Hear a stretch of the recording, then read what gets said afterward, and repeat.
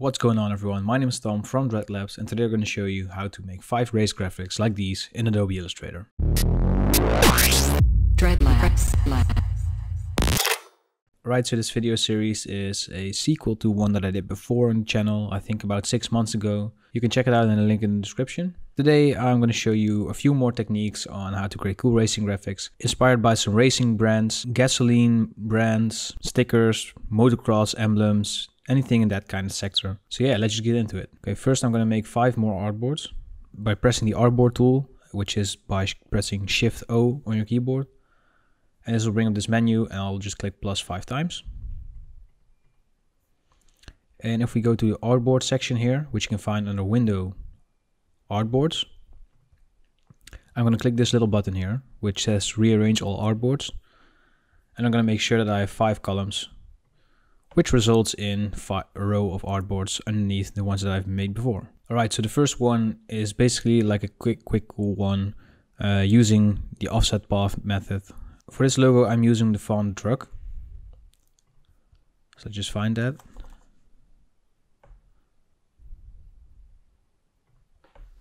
Let's scale it up a bit. And we're immediately going to create outlines from these. And what I like to do with text like this is just ungroup it and see if I can rearrange it in a way that makes it a little bit more, that gives it a little bit more unity, I guess. And what I like about this is that the vertical uh, lines of the letter D and the L really match up well together. It's nice to have it like aligned in here. Uh, just make sure, I was experimenting before, if you do it like this, it looks like it says LD or something. So yeah, what I would like to do is just do it like this. And the goal here is to have almost the same amount of space around here, like the white space. And I think something like this should do. Uh, we don't really need to bother about this part, I think. So what I want to do now is I want to click the L. Just to be clear, let's just put all of this in a new layer. So we can close this one up. Now it's a bit more clear on what I'm working on in the layer menu here. So I'm going to select the L and I'm going to go to Object, Path, Offset Path. And I'm going to make the offset just enough to cover the white the, the white like negative space. And I think 33 pixels in this case is the way to go. And I'm just gonna make it green so we can actually see what we just did here so if you don't know the offset path basically makes a stroke around your object but it does it a little bit more accurately. And I like to work with only filled objects. So as you can see so as you can see now there's still like an object here instead of like a stroke which is ideal. Uh, so we're going to use this green outline to punch out these parts of the D. And the way we're going to do that is we're going to select the green one here and the D. I'm going to bring up the shape builder tool. If we hold Alt or Option on our keyboard and we drag around here, we basically already cut everything out. But we want to do something first. We want to have, we want to make sure that this part won't be cut out. And that's a little bit tricky. So what we want to do before we actually use the shape builder tool Let's go to our Pathfinder, which you can find under Window Pathfinder. And I'm going to click this one, the Divide button. And this will make it so that all of the parts here are separate pieces. And I already kind of see what we've done here. So let me just uh, undo my action here. And I want to grab both of the L's and I want to place it just one pixel over to the left. And if we go into line view here, you can see that it didn't really overlap before, I think. So what we can do is just make sure that this is actually properly aligned like this. Now if we click on divide here, we should be able to use the Pathfinder tool. We can merge this together and we can hold or Option and remove everything else here, which results in a cutout D. And let's just make that black again. Alright, so now we basically have the shape here and now we now we want to go and do some outlines. So what I like to do here is, as you can see, um, this is all not merged. So what we can do is we go to Pathfinder and click the Unite button and then I'm going to click Command or Control 8 on my keyboard and this will make it into a compound path. You can also do this by going to Object, Compound Path, Make. And this basically makes it easier for me to work with the offset paths. Alright, so we're going to go to Object, Path, Offset Path again. And we can leave the 33 in here. But what this does, we can now we now have one path instead of like multiple paths. Uh, as the outline here. So I want to just make this white and then do it another time. Uh, I actually have offset path linked to a custom shortcut, command 5, as you can see. So if I immediately bring up the offset path menu here, it's because I'm pressing Command 5. And now we can make this black again. And now we can grab the middle one and we can make it green or whatever color you like, of course. All right, now we can just group this, align it to the middle and scale it down a little bit. And that's shape one. Right, onto shape two. So the first thing that I want to do is type DLR. And the font that we're going to use this time is Adrianna, extended extra bold. And I'm going to create outlines immediately, align it to the middle here. What we're going to use now is the bulge function. So we're going to go to Effect, Warp, Bulge. And we only need like a 10% bulge, I think. All right, so what we're going to do now is we're going to create a rectangle. So just make an outline so we can clearly see what we're doing here. And circle. And we need the circle to be just a little bit smaller than the rectangle. And what we want to do now is we also want to bulge this rectangle. So we're going to go again to Effect, Warp, Bulge. And again, a 10% is just fine. And what we can do now is, as you can see, if we go to the line view here, these bulges aren't actually applied to our shapes. So what we can do about that is we're gonna select our rectangle here and go to Object, Expand Appearance. I'm gonna do the same thing with our text here. Go to Object, Expand Appearance. And now if we go into the line view, you see that, it, that it's actually properly applied. All right, so I wanna go and grab a copy of the circle and the rectangle here. So I'm going to go press Command C and then I'm going to press Command F, which will paste this in place. Now I have a separate like rectangle and cir uh, circle on the same place basically. And I want to unite these. So if we fill this up, this is what we are left with. And we're going to use this to basically create an outline. So again, we're going to go press Command 5, which is object path, offset path. Going to make an offset of like 10 pixels maybe a little bit more, like 15, I think. We can delete the first one. We can bring this all the way to the back so we can actually see what we have here. And I want to remove the fill and add some stroke here, like 10 points. And if we go to the stroke menu, we can align the stroke to the outside here. Okay, what I want to do now is I want to grab the circle, the original one, and I want to fill it with orange. And I'm going to just bring it to the back here. And now what I want to do is use this rectangle to punch out the circle. And this will leave us with the second one. And as you can see, this one's a little bit more bulged. Uh, so I probably used a bulge effect more than 10% here.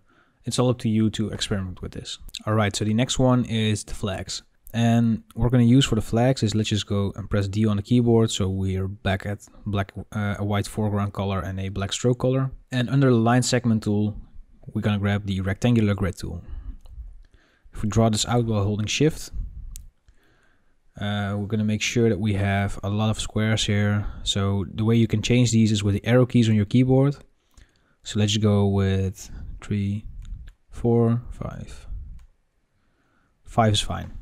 And before we're gonna do anything with this, uh, click K on your keyboard, which will bring up the live paint bucket. Change your fill color to black and click here and it should say click to make a live paint group. And now we can just paint in the blocks. And what we can do now is just grab this, duplicate it, and of course you don't want to duplicate it in this way, but you want it to overlap so, so that the blocks will still match up. Okay, with the whole flag selected, go to Object, Expand, and just click OK. And with both of these selected, press Command G so we can group this, align it to the middle, and we're going to go to Effect, Warp, Flag, and let's create a bend of 20% and I want to have the horizontal button a bit shifted to the left here like this all right this should be fine okay now we're going to make the flagpole go like this just a regular rectangle and ellipse on top. I'm going to unite these. And basically what we're going to do again is grab an offset path but then we want to make it smaller. So minus 4 is actually okay I think and we're going to just fill it with black. And I'm going to make a line it to the left here. And then at the, at the bottom here, we want to align these bottom points to the bottom. Okay, lastly, I want to uh, expand the appearance of the flag here. And if we ungroup this twice, we should be able to have these separate grids here. as well as the one from the flagpole. And now we can up the stroke to, for example, three or four maybe. Let's go three to make the outline just a little bit more thick. All right, so now if we group this and we go to our preferences here, in general, we can mark on scale, stroke, and effects. And if we scale this down now, we can now place this wherever we want without affecting the stroke width. And we want to make sure that it's actually less than half. So like this. Now we're going to check this off again. And I'm going to draw a simple line with my pen tool here. Align it to the middle. And with the flag selected, click O on your keyboard to bring up the reflect tool. Click once on the first anchor point and hold Alt Option while clicking on the second one. And this will make a mirrored flag. All right, on to the fourth one. This is kind of like a Yu-Gi-Oh-ish looking logo. The font that I used for this was Aviano Flare. All right, for so with dread selected, we can just create outlines of these. If we go to effect, warp, arc, upper, we can actually bend this the other way around. And let's just make sure that the horizontal one is set to zero again. If we bend it minus 10% here, we're going to do the same thing here. And we're not going to arc upper, but we're going to go to arc lower. And you probably already know that warping text might result in some weird results. So what I like to do here is basically scale these up vertically a little bit so that the bend will actually be applied without like flattening the text, I guess. So yeah, this should be fine. I'm gonna go to object, expand appearance again. I'm gonna merge them. And again, I'm gonna go to object, compound path, make. And once more, we're gonna make this the color white. I'm gonna go to object, path, offset path. I'm gonna outline it five pixels, I think. Make it black. Then we're gonna repeat that again, but then we're gonna go and make it a little bit bigger, like 30 pixels. And depending on what you like here, um, I'm actually gonna lose the miter limit here. I'm gonna set it to two, and we can just make this red. All right, and if you're not satisfied with these edges, we can just delete these ones with the direct selection tool. And things like these, I would advise you to solve them with the pen tool. I didn't really have time for, to do it here. so uh, yeah, if you want to, you can just do it yourself. All right, the last one. First, before we're gonna add our text, let's create two rectangles with the full width and the half 50% of the height. Color this a little bit of a teal. And the bottom one, we're gonna go and color red. And we're gonna add one more and we're gonna make that 10 pixels high, I think. And let's just color that white. All right, so now we're gonna grab our text, which is Montserrat. You can find this on Google Fonts. Let's create some outlines again. And we're gonna press E on our keyboard, which will bring up the free transform tool. And if we grab the middle, and if we grab the top middle anchor point here, you'll see this icon and we can skew it a little bit however we like. I think this should be fine. And again, let's go to object, compound path, make, and now we have a compound path of our text. So we're gonna grab our text, press Command C, Command F, which will bring up a copy. All right, so with our text selected and our blue rectangle selected, click the intersect button on your Pathfinder menu. And let's just color this teal again. We're gonna do the same here. So grab the black text here, grab the bottom red rectangle here. Click the intersect button on your Pathfinder and we'll make this red again. And as you probably still haven't forgotten, we still have our white rectangle here, so we're to bring that to the front. Press Command C, Command F, so we have two rectangles now.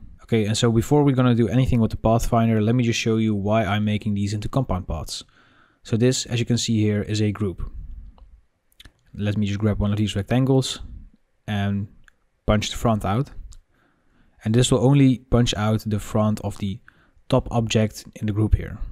And I want to do it on the full text. So I'm just gonna grab the text here, make it into a compound path by pressing Command or Control 8, grab the rectangle, punch it out, and now we have it just the way we want it. Same here, make it a compound path, select the rectangle, and punch it out. Alright, now for the last time, and now for the last time, let's make some offset paths. So the way I want to do this is let's just copy, let's just copy both of these press Command F and unite them. Let's make a compound path once more. So now we have a red compound path of our text here. And let's do the offset path, miter limit to 4. And I think we should go with... Let's go with 15 pixels.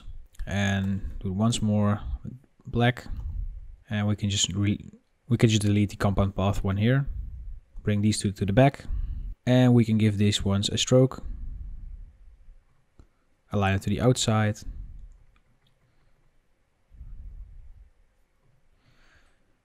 And voila. Alright guys, there you have it. Five racing logos done in Adobe Illustrator. I hope you guys enjoyed.